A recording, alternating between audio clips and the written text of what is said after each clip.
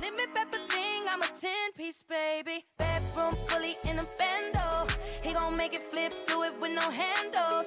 Never switching